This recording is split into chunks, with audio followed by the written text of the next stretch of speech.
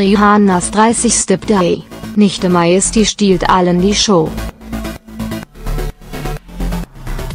Sie hat ihrer berühmten Patentante die Show gestohlen.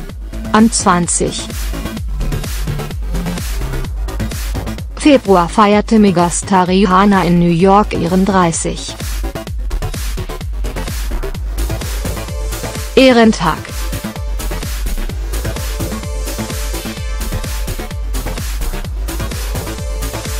Bei den Feierlichkeiten zu dem runden Geburtstag durfte die Familie der Sängerin natürlich nicht fehlen.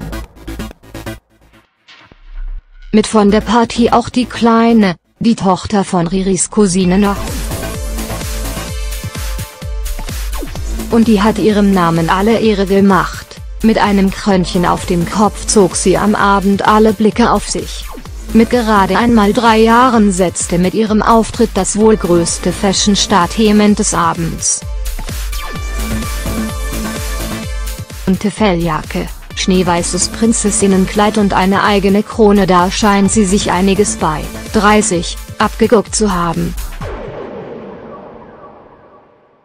Schließlich gilt ihre berühmte Patentante als absolute Fashionista. Kein Wunder also, dass auch sie die Fotografen mit ihrem Look wieder mal begeisterte. Prinzess Outfit und knallpinke, aufgebauschte Robe machten deutlich, das Thema des Blätter-Ibasses war Glamour pur.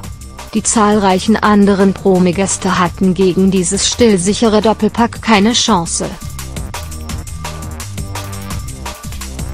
Zwar machten auch Paris Hilton, 37, und Toni Braxton, 50, eine gute Figur auf der Party mit ihren schwarzen Teilchen konnten sie jedoch nicht mit den barbadischen Schönheiten mithalten.